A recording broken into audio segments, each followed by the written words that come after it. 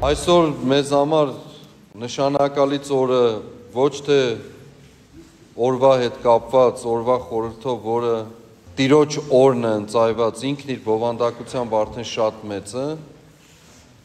այլ նաև եւ հատկապես չափազանց պարտավորեցնող, որ մենք այսօր այս Սուրբ Սեղանի արչև, Սուրբ Խորանի արչև այս բազում բազում պարտություններ տեսած, ավերակներ տեսած, բայց միևնույն ժամանակ միշտ հաղթանակի խորհուրդը կրած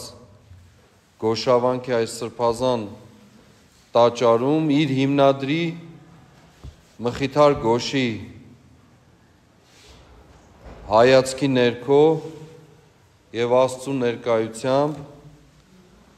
ողջունել եւ մեր խոնարհումը հայտնել մեր սիրելի զավակների, մեր եղբայրների, ծնողներին, ովքեր այսօր Դիլիջանի եւ Իջևանի շրջանից հատկապես ուխտագնացության են այս սուրբ տաճարում, ում մենք անվանել ենք եւ կոչել ենք եւ այդ զգացումով էլ ապրում ենք որպես հայրենիքի հայրեր եւ հայրենիքի մայրեր։ Իրենք այստեղ են եւ ոչ միայն իրենց ֆիզիկական ներկայությամբ, այլ նաեւ եւ հատկապես մեր զավակների ներկայությամբ, մեր տղաների ներկայությամբ, ում արչև մեր պարտավորությունը նաև դիեզերական սահմանները ընդգրկում եւ իրենց հետ նաև հանդիպելու լավագույն միջոցը հենց այս աղոթքի միջով հանդիպելն է մենք որպես զինվորյալ եկեղեցի իրենք որպես հաղթանակած եկեղեցի եւ մեր ձգտումն է անընդհատ զինվորյալ եկեղեցու գնալ միաձուլվել հաղթանակած եկեղեցու հետ եւ վերստին ուզում եմ մեր սերը հայտնել հանձնառությունը հայտնել ձեր արչև սիրելի սիրելի հայրենիքի հայրեր եւ հայրենիքի մայրեր եւ նաեւ վերստին վերահաստատել որ մենք մեր զավակներին, մեր տղաներին հայրենիք ենք պարտք, երազ ենք պարտք եւ եւ հաղթանակ ենք պարտք։ Այս անպատվության օրերին Ես նոեմբերի 10-ը կոչել էի որպես ամոթի եւ խայտարակության օր համազգային ամոթի եւ խայտարակության օր այս օրերը կոչում եմ եւ այդպես եմ զգում որպես անպատվության օր ոչ միայն գողացված ուրախության ժամանակ, որի մեջ մենք տևապես ապրում ենք, այլ անպատվության ժամանակահատված եւ կրկնակի անպատվության, որովհետեւ մենք համաձայնվել ենք եւ հանդուրժել ենք ընդունել այդպես անպատիվ ապրելը։ Սա բացարձակ ճշմարտություն անկախ նրանից, թե ինչքան կհայոյեն, սատանիստ կհամարեն, մորմոն կհամարեն, KGB-ի գործակալ կհամարեն եւ մնացած այլ գործակալներ կհամարեն, հատկապես նրանք, ովքեր թուրքական, պարսկական, թաթարական ազգանուններ են կրում։ Սա ճշմարտությունն է։ Անկախ նրանից, թե որքան դառնը որքան ցավեցնող լինի, բնականաբար, ինչպես Սուրբ Գիրքն ասում է, այն 10-անորդի համար, որ մնացել է եւ հավանաբար ոչ բոլորի համար։ Բայց որքան էլ ցավեցնող լինի, որքան էլ խոցող լինի, դա ճշմարտությունն է։ Դրանից խուսափում գոյություն չունի։ Եվ այսօրվա ընթերցումը թե մարգարեական, թե առաքելական եւ թե հատկապես տերունական Հիսուսի падգամը մեզ ինչպես միշտ ասել եմ կենթանի ապրող իրականությունը սոս գրքում գրված չի ժողովուրդ ջան շատ եմ խնդրում որ այդպես ընդունեք յուրաքանչյուր բառը այսօրվա կենթանի ապրված իրականությունն է որովհետև հեղինակն է ողջ հեղինակը ողջ է եւ մեզ այդ այդպես է խոսում կենթանի հենց հիմա խոսում է մեզ այդ Մեր զգացմունքները երբ արտահայտվում են, այնտեղ են ամբողջանում այնտեղ է մեր փնտրելու տեղը, այդ նամակի մեջ, գրության մեջ, որը մենք Աստծո խոսք ենք կոչում, Աստվածաշունչ ենք կոչում։ Իսկ շունչը չի սպառվել, շունչը շարունակվում է, հոգին անընդհատ տալիս է։ Եվ ինչ է լինում մեզ հետ։ Մեզ հետ ինչ է լինում։ Մարգարեն տեսեք, ինչ է ասում մեզ այս օրերի մասին։ Գնա հայտնիր այդ ժողովրդին Ինձ ասում, ձեզ ասում, յուրաքանչյուրիս ասում։ Գնա հայտնիր այդ ժողովրդին։ Լսելով պիտի լսեք, բայց պիտի չիմանաք։ Ժողովուրդ, ժողովուրդ, լսելով պիտի լսեք, բայց պիտի չիմանաք։ Տեսնելով պիտի տեսնեք, բայց պիտի չնկատեք։ Եվ չճանաչեք, քանզի այդ ժողովրդի սիրտը կարծրացել է ծանր են լսում իրենց ականջներով իրենց աչքերը փակել են որ เป զի չլինի թե երբևէ աչքերով տեսնեն եւ ականջներով լսեն սրտով իմանան ու դարձի գան եւ ես բժշկեմ նրանց Սա է մեր իրականությունը։ Ասում է տեսնելով, տեսնելու եք ու չեք իմանալու։ Ավելի ճիշտ տեսնելով տեսնում եք ու չեք իմանում։ Լսելով լսում եք եւ չեք ըմբռնում, չեք ընկալում, չեք ճանաչում։ Սկարծրացրել եք ձեր սրտերը, որպեսզի դարձի չգաք եւ ես չբժշկեմ ձեզ, որովհետեւ ինչպես քիչ առաջ ասացի, այդ թմրության եւ անպատվության մեջ ապրելը թերևս նաեւ մեր կողմից հարմարեցրած մեզ համար հաճելի է մեզ մինչդեռ մենք կարիք ունենք բժշկության, ապակինության, ոտքի կանգնելու։ Եվ ինչ է ասում մեզ առաքյալը։ Ասում է զգուշությամբ քայլեք իմաստունի պես մտածեք, իմաստությամբ գործեք, որովհետև այս օրերը չար են։ Եվ օգտագործեք այդ օրերը, որպեսի կարողանաք Տիրոջ հետ միասին ճանապարհը ընթանալ։ Եվ ապա մեր Տերը պատմությունը պատմում մեզ, կամ ավետարանը պատմում է մեզ մեր Տիրոջ պատմությունը, երբ մեռած աղջկան բժշկում էր։ Ոչ ոք չէր հավատում, որ այդ աղջիկը կարող է բժշկվել եւ ոտքի կանգնել։ Արդեն իսկ ասում էր մեռած է։ Բայց մեր Տերն ասաց չի մեռել, այլ ննջել է։ Եվ մոտեցավ եւ բոլորը ծաղրում էին իրեն, ծաղրում էին։ Երևի թե նաեւ հայոյում էին եւ մոտեցավ եւ ասաց վեր կաց եւ կանգնիր ով մանուկ եւ ոտքի կանգնեց նա ով թվում էր թե մեռած է բոլորին մեր տիրոջ կողմից այդ հավատքի անսասանության մեջ ասելով մի վախեցիր այլ միայն հավատա Վեր կաց եւ կանգնիր ով մանուկ։ Եվ այդ բոլորի համար մեռած աղջիկը ոտքի կանգնեց։ Եվ մարդիկ ապշած էին,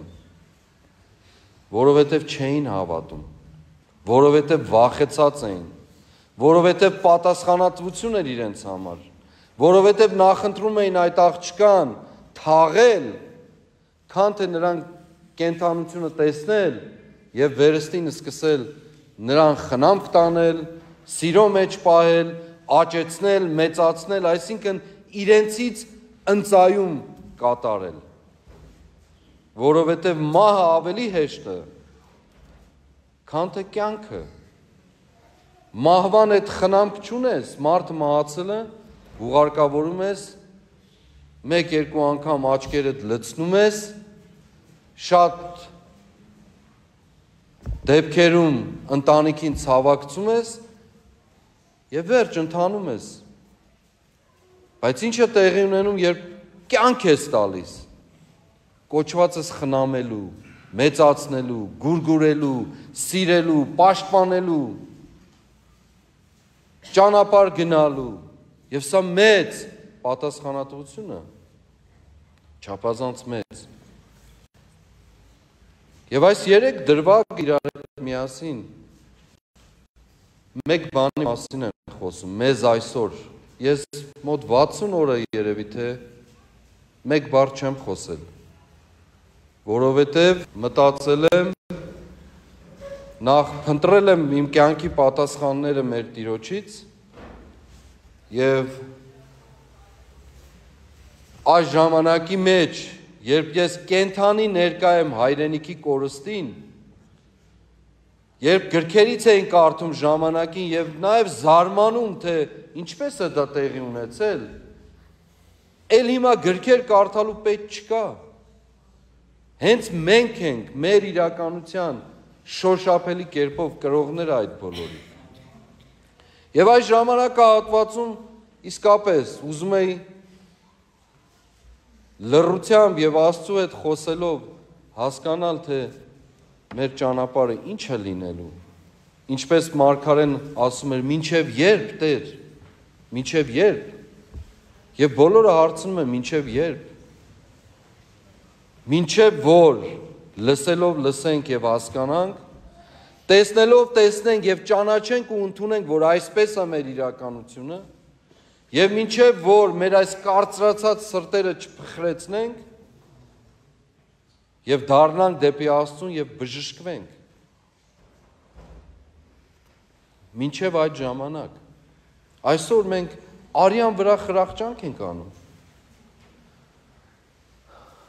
հայրենիքի կորուստի վրա, որը շատերը համարում են այլևս մեռած, բայց մենք մեր Տիրոջ ճանապարհով հավատարմությամբ ընթանալու պատրաստակամությամբ համարում ենք ննջած եւ կարող ենք, այո, մեր դարձի գալու պատմությամբ նաև վերականգնել մեր տունը ամբողջության մեջ։ Աստված երբ որևէ ժողովրդի կամ իր ժողովրդին երբ պատիժ էր սահմանում, ժողովուրդ ջան։ Եվ ինչպես այսօրվա ընթերցվածն է, խոսում էր երկիրը ավերակելու մասին, ամայացնելու մասին, լքելու տները մասին, այսինքն մարդկանց դժբախտությունը կամ պատիժը անմիջականորեն կապված էր երկրի եւ բնակության վայրի հետ, հայրենիքի հետ, ամայության հետ, կորստի հետ չէր կարող այլ ձև լինել։ Դա ամենամեծ պատիժն է թափառական դառնալու, ավերված տներ ունենալու, ավերված ինքնություն ունենալու, ավերված եւ կործանված պատիվ ունենալու, ավելի ճիշտ պատիվ չունենալու։ Աստված այդպես է տեսնում դժբախտությունը, Սուրբ Գիրքը դժբախտությունը որպես նկարագրություն այդպես է նկարագրում։ Հիմա հայացքներս դարձնենք մեր օրերին։ Դուրս կան Սուրբ գրային պատմության միջից, բայց ոչ падգամի։ Եվ դարձնենք մեր օրերին։ Ինչն է մեր պատիժը դարձել։ մեր հաղթանակների կորուստը, մեր կենսագրության աղճատումը, գողացած լինելը, մեր ուրախության իսպար ոչնչացումը, մեր պատվի անպատվությունը եւ մեր հայրենիքը լքելը, մեր սրբարանները կողոպտված լինելը, որը մենք համարեցինք մեռած։ Եվ ինչ դարձանք, թող չնեղվի ոչ ոք, բայց դարձանք խնամող ժողովուրդ։ Մենք շատ մեծ արվեստով կարողացանք տները լքած, փախստական վիճակում գտնվող ողբերգության մեջ ապրող մեր սիրելի քույրերին եւ եղբայրներին հասնել այսպես կոչված օգնության, հացի, տնի, հակոստի տեսքով եւ գոհանալ դրանով, ինքնա բավարարվել դրա մեջ։ Մինչդեռ այդ մարդիկ ապրում էին իրենց տանը մեր հայրենիքում եւ ջանք էր մեզանից պահանջվելու խնամելու այդ հայրենիքը զորացնելու, ոտքի կանգնացնելու, առաջ ընթանալու, մենք նախընտրեցինք որփախնամությունը, քան թե հայրենապահպանությունը։ Եվ այդպես շարունակաբար ես նայում էի 100 մտածում էի ցեղասպանության օրերին նույն պատմությունը չխնամեցինք արևմտյան Հայաստանի մեր պատմական մեր մեր բնիկ հայրենիքը չխնամեցինք Ոչ մի ձևով, ոչ մի կերպով, թե կրթական, թե մշակութային, թե հոգևոր, թե քաղաքական, ոչ մի ձևով, բայց ջանք չխնայեցինք ցեղասպանությունից հետո որփացած փախստական հիվանդ մեր հայրենակիցների, մեր հայրերին ու մայրերին խնամելու, որփանոցներ բացելու, տեղեր հատկացնելու, տարբեր երկրներում այսպես քարոզություն անելու, որպեսի իրենց կարողանան պահպանել ու խնամել։ Մենք դա ենք նախընտրում, այսինքն նախընտրեցինք, նախընտրեցինք թաղելը, քան թե կենթանությունն ու կյանքը։ Որովհետև այդպես հեշտ է, այդպես ինքնադրսևորվելն ու ապրելը հեշտ է։ Մեկ երկու անգամ ես իմ այսպես կոչված օգնությունը կմատակարեմ ու վերջ Բայց մյուսի նկատմամբ տևական խնամք է պետք, ջանք, ինքնծայում, զոհաբերություն, արյուն, որովհետև այլ կերպ չի լինում, եթե դու ընդունել ես, որ սա քո պատիվն է, ինքնությունն է, հայրենիքն է։ Աստված մեզ տվել է պահպանելու եւ մշակելու, խնամելու, աճելու եւ բազմանալու եւ տեր կանգնելու ոչ հակառակը ոչ հակառակը սա ամեն հայ մարդու աստվածային կոչումն է եւ ոչ հակառակը մենք այդ կոչումից ենք հրաժարվում այդ բարձր պատվից ենք հրաժարվում այդ բարձր կոչումից ենք հրաժարվում սա ողբերգությունը այստեղ է Հավատացեք, ես պատահական չէր, որ այս տաճարի մասին խոսեցի, որպես կամ այս վանքի մասին, որպես պարտություններ տեսած դարերի ընթացքին, բայց միշտ հաղթանակած կանգնած։ Որովհետև կոչումից չհրաժարվեցին, մենք կարող ենք կորցնել, տուն էլ կկորցնենք, հող էլ կկորցնենք։ Բայց երբ պատիվը դու կոչումը ես կորցնելու, այլևս չես վերականգնելու մյուսը։ Այլևս մեռնելու ես։ Այլևս չի գալու ոչ մեկ քեզ ասելու վեր կաց եւ կանգնիր ով մարդ։ Չի գալու եւ ոչ մեկ քեզ չի ասելու մի վախեցիր, հավատա։ Մի վախեցիր, հավատա։ Գիտեք, մեր օրերին շատ են խոսել, ինձ էլ շատ են ասել, Խնդրում ենք խոսիր հույս տուր մեզ։ Ոչ միայն ինձ, վստահաբար շատերիդ։ Ամեն մարդ այսօր հույսի կարիք ունի, բայց չձևակերպված հույսի։ Չձևակերպված թե ինչ է այդ հույսը։ Ես շատ մտ, շատ եմ մտածել դրա մասին, շատ։ Ամենամեծ առաքինություններից է Հավատքը, հույսը եւ սերը։ Բայց դրա տակ գործը պետք։ Հույսը խեղճերի ու թշվառների գործն է, որոնք նստած միայն երազական հույս ունեն։ Հույսը ամբողջանում մարմինը դառնում։ Բնականաբար սիրո մեջ, երբ ներգործողը դառնում, երբ կիրառականը դառնում, երբ այդ հույսը թանձրանում է, սկսում է գործել, գործել, դու ակնկալիքը հույսը չես նվազեցնում երբեք։ Չես նստում ստատիկ այսպես կայական վիճակով եւ սպասում, որ այն հեղվի քեզ վրա, այլ այդ հույսը որպես միտք, որպես շարժում քո մեջ գործադրում ես կյանքիդ մեջ, իրականացնում ես, շոշափելի ես դարձնում։ Այլապես մյուս հույսը, այդպես սпасելի հույսը խեղճերի գործն է։ Խեղճերի, թշվառների գործն է, որոնք ոչ մի բանի ընդունակ չեն, բայց հույս ունեն։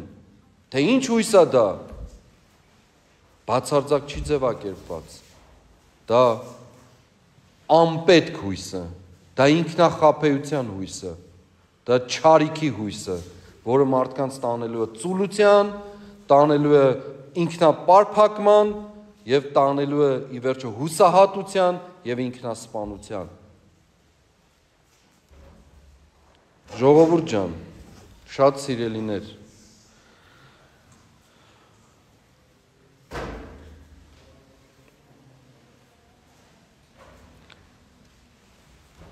Մեր այս ժամանակահատվածը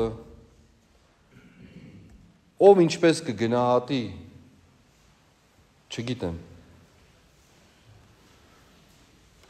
Բայց մեզ համար մնալու է որպես վերականգնումից ձգտումի ժամանակահատված մեր միտքը սևեռված պիտի լինի առաջին հերթին մեր պատիվը վերականգնել, եթե երբևէ ունեցել ենք։ Մեր միտքը պիտի լինի սևեռված առաջին հերթին մեր հավատարմությունը վերականգնել թե մեր Տիրոջը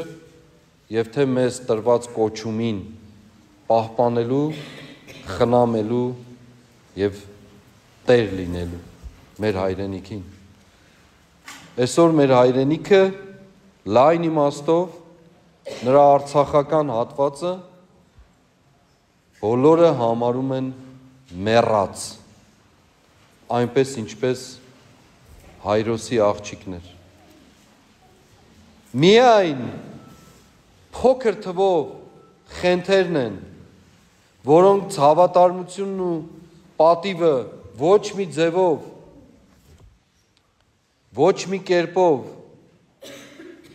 ոտնատակ գնալու հետ հարմարվածություն չունեն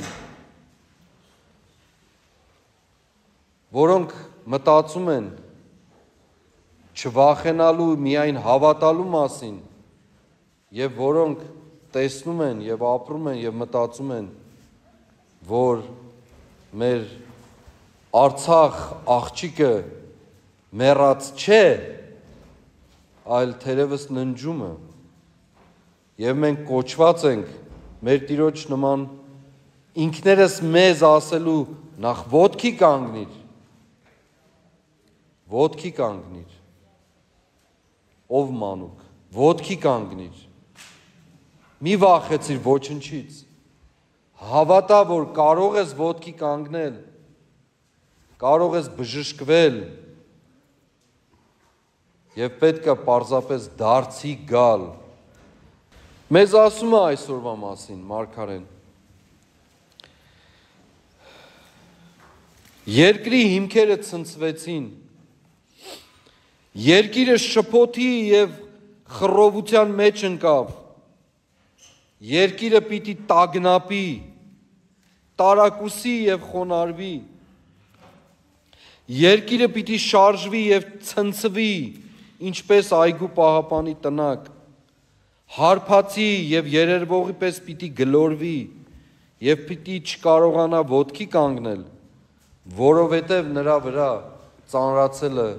անօրենությունը։ Մեզ վրա մեր անօրենություններն են ծանրացել։ Մեզ վրա առաջնորդության անօրենությունն է ծանրացել։ Մեզ վրա վախի անօրենությունն է ծանրացել ստի անօրենությունն է ծանրացել, կեղծիքի անօրենությունն է ծանրացել։ Դավաճանությունն ու ուրացումը դիվանագիտության տեղ ներկայացնելու անօրենությունն է ծանրացել։ Մեր նահատակ եղբայրների սխրանքը ոչինչ եւ անպատասխանատվություն համարելու անօրենությունն է ծանրացել։ Այդ պատճառով էլ մենք հայրենիքը կարմիր թելով փաթաթված այդ ամբողջ արյունով, զոհաբերությամբ ու սխրանքով ինքն ընծայեցինք թշնամուն, թե ներքին եւ թե արտաքին։ Եվ մեր միակ ճանապարհը այս բոլորը գնահատելն առանձնության մեջ կլինի եւ հատկապես ճշմարտության հետ հաշտ լինելն նրանից չվախենալն եւ դարձի գալն է, զղջալով դարձի գալն խոստովանությամբ դարձի գալն դեպի Աստված շրջվելու եւ եւ սա այս վերջին օրերին շատ եմ ասել եւ ոչ թե մտածել մահվան մասին, այլ մտածել անմահության մասին։ Ոչ թե մտածել, որ մենք ընթանալու ենք այս կամ այն ճանապարհով դեպի մահ, այլ մտածել, որ մենք ընթանում ենք դեպի անմահություն ամեն մարդ այդ անմահության կոչումն ունի։ Այստեղ, հենց այստեղ, այս փոքրից սկսած, մինչև ամենաավակն ու տարեցը։ Ամեն մարդ ունի այդ անմահության կոչումը։ Մի սպանեք դա, ժողովուրդ։ Մի սպանեք ձեր անմահության կոչումը։ Մի սպանեք։ Այնտեղ կյանքը, այնտեղ հաղթանակը, այնտեղ պատիվը, այնտեղի վերջո տիրոջ հետ, ճշմարտության հետ հաշտ ապրելու հավիտենականությունը։ Բոլորից սրտերը թող զորանան, շատ եմ խնդրում։ Առանձնության մեջ շատ մտածեք մեր այսօրվա մասին։ Շատ մտածեք։ Եվ այդ մտածումը ճշմարտության եզրահանգելը թող նաև դառնա կիրառություն լայն իմաստով մեր կյանքի մեջ։ Եվ ինչպես անընդհատ ասել եմ, խոսել եմ եւ իմ ամեն օրվա աղոթքի հետ խառնված է դա։ Խնդրում եմ ձեզ շատ ձեր սրտում, մտքում եւ նաեւ գործի մեջ հետեւյալ արտահայտությունը չմոռանաք։ Չեմ մոռանալու հանուն քեզ Հայաստան եւ չեմ ներելու հանուն քեզ Արցախ։ Սա մեր առաջնորդող կյանքի նշանաբանը է լինի։ Փոքրից մինչև մեծ։ Ամեն օր, ամեն ժամ։ Եվ սա է մեր հավատարմության նշանաբանը։ Ես վերստին ուզում եմ մեր խոնարհումը հայտնել մեր սիրելի հայրենիքի հայրերին եւ հայրենիքի մայրերին մեր հանձնառությունը հայտնել մեր սիրելի եղբայրներին ու զավակներին, որին որոնց արյունը մեզ վրա է եւ որոնց հայացքի ներքո ենք մենք այս անպատվությունը շարունակում կրել եւ միևնույն ժամանակ բոլոր այսօր այստեղ ներկա գտնվող մեր սիրելի ժողովրդին